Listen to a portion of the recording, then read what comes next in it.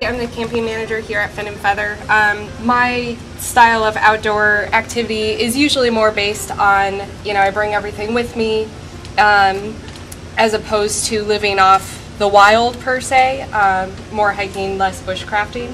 Um, but as the camping manager here, um, we also sell a bunch of tools that can help you uh, survive and thrive in the great outdoors.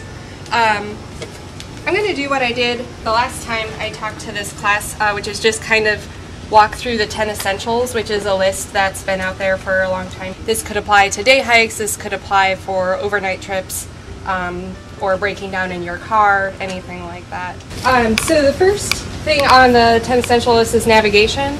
Um, the old school navigation is going to be a map and a compass. Um, and then the biggest part of that map and compass um, that you need to bring with you is experience to use it. Um, a map and a compass doesn't do a whole lot of good if you aren't sure what to do with the things once you get it. Isn't really part of navigation, but I think is uh, one of the best things you can do in any situation is just letting a friend or family member know where you're going and when you're expected to be back. They don't necessarily need to know your daily itinerary. But having someone who's not with you kind of having your back can do a lot for overall safety.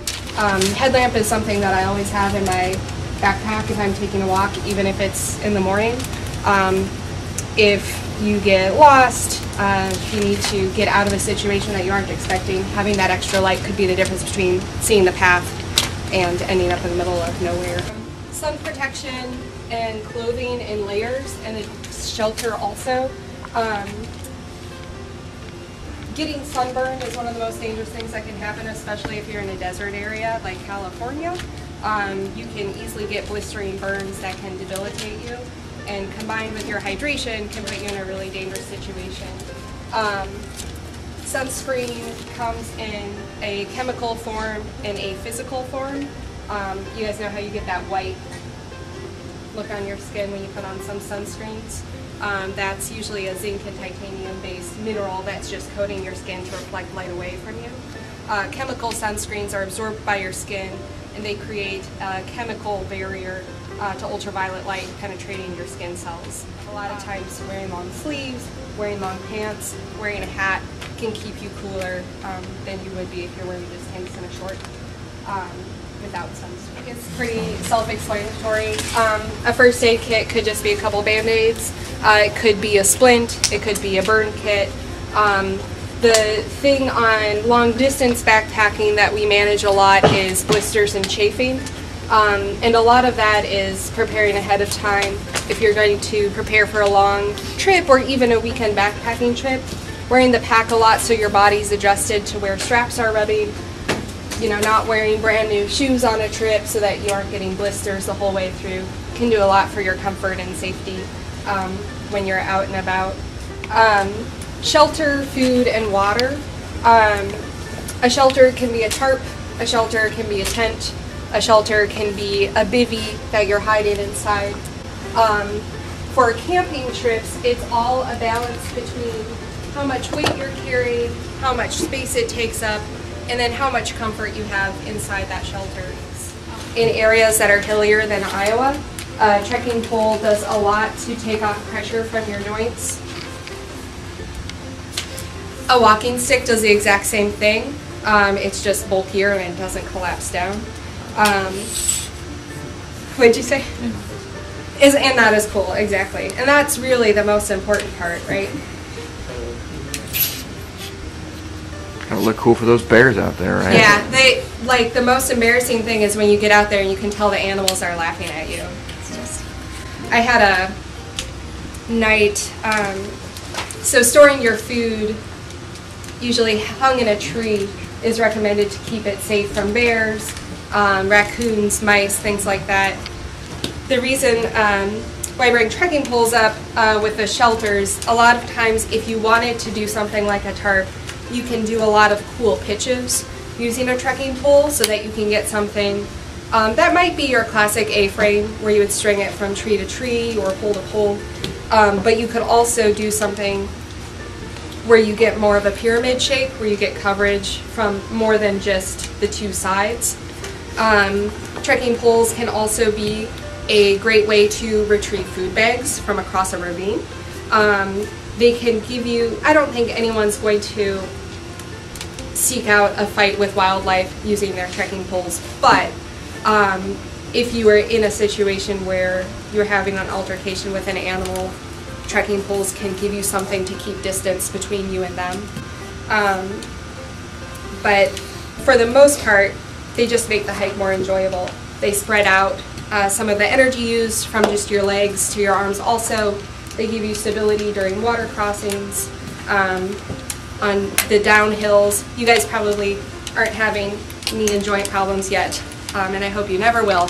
Um, but trekking poles are really great for those of us who have had uh, some of those issues. Based on where you're going, if you're here in Iowa, um, a lot of times the water is pretty gross in nature because of all the farm runoff um, and because of its proximity to um,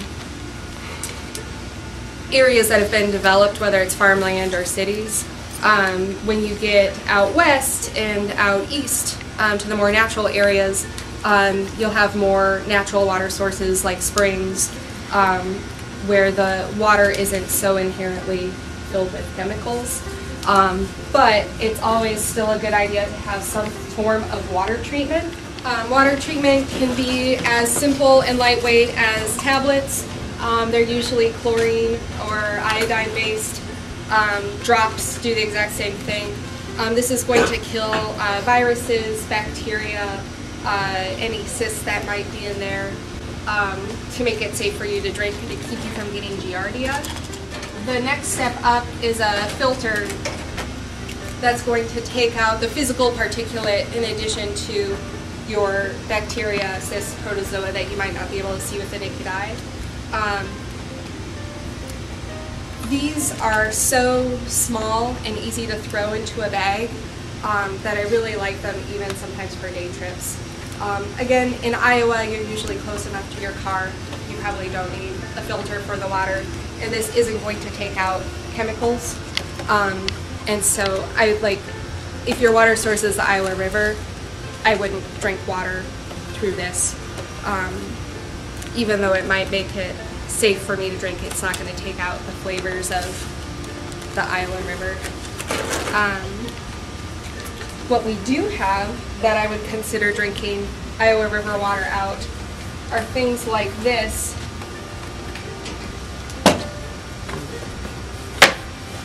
which they grade as a purifier. Um, and these are going to take out those chemicals in addition to the physical uh, baddies in the water. Um, the uh, Grayl filter has a carbon and silver element that absorbs harmful uh, elements in the water the Guardian um, is just a really um, intense filter uh, with a much smaller hole size um, that filters the water through. I didn't do a very good job of explaining that, but um, just a lot beefier version of the water filters. The MSR product was designed with collaboration from the military, um, so this is something that the um, armed forces would use when they're traveling and needing to treat their water.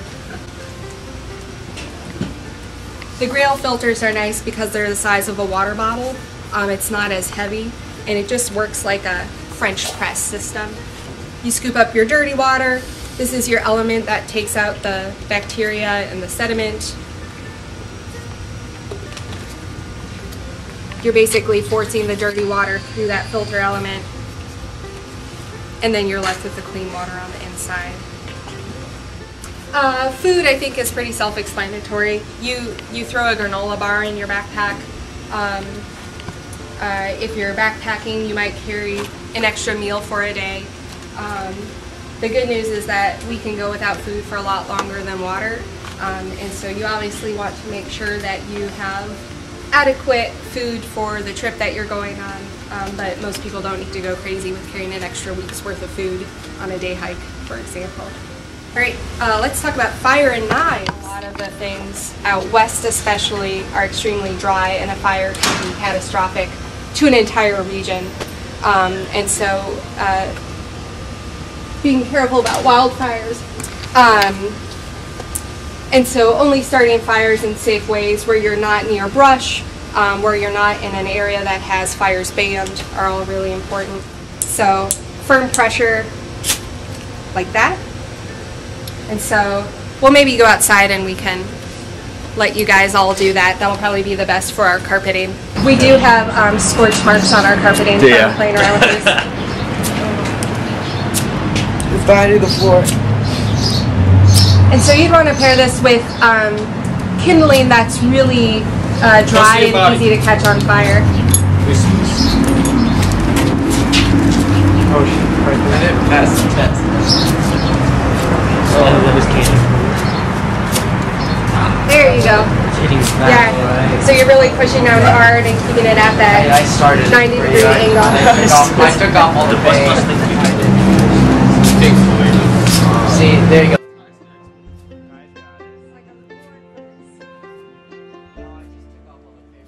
Plasma lighter, um, and it's using electricity to make little arcs of plasma, um, and then you would use that with something flammable to create your fire.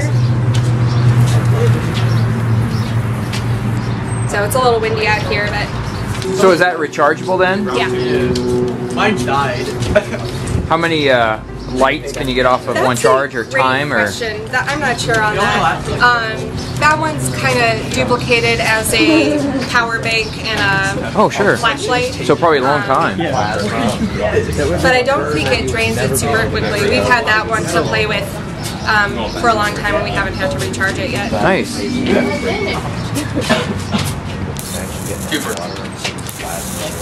Let it triple. Yeah, I'll do it again. Okay. Hold on, you need me to hold you? Bye. Hey. Um, as an outdoor knife, this one could easily be my choice. It's 20 bucks.